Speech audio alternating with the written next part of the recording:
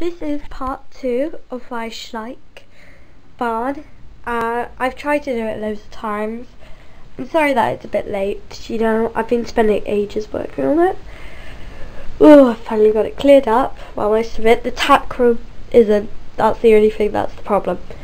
Okay, so let's start part two of my Schleich barn tour at Country Farms Equestrian Centre. Where, where horses come first. That's the motto. So over there, if I can get through, is the mare field. And the gate is there. Got water trough and all that stuff. And right next to it is the pony boy pasture field. Or the boy pony pasture field. Pasture boy field. Or whatever. It's for boys and ponies. If you're horses, you go there, your boys. If you're boys and your ponies, you go there. Two different. Now there's another horse. She can't be with other horses because she's got anger issues. Here is a mounting block where you just get on and you get on your horses if they're too And here's where you ride. Here is our huge arena. It's really big.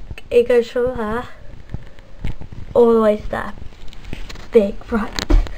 I noticed. Here is where the birds wash. I'm not sure what you call that, so please, please don't say what is it. I don't know what it's called, but I have one. Ah.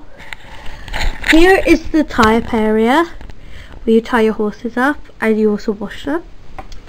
Oh. Here's my badly made uh, stable. It's the worst one I've ever made uh, one of the horses in it. Just turn him round so you can see him.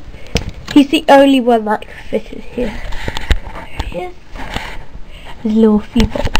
Because he's just had Here is the farrier and the instructor talking to each other by one of the horses who has just had a hoof change because their hoof was breaking and the farrier needs to fix Here's two horses playing with each other in the stable and in there is our tack room, our messy messy tack room. And here are our jumps. And then our last and very pretty pink stable. And I've just knocked something over. I can feel it on my foot. I can feel it.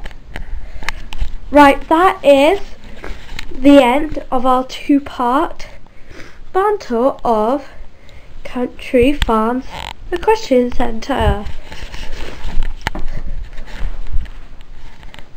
so I hope you enjoy both of the battle and it only works if you watch part one then part two or the other way around. I don't mind just watch both of them. So thank you for watching. Comment rate and subscribe.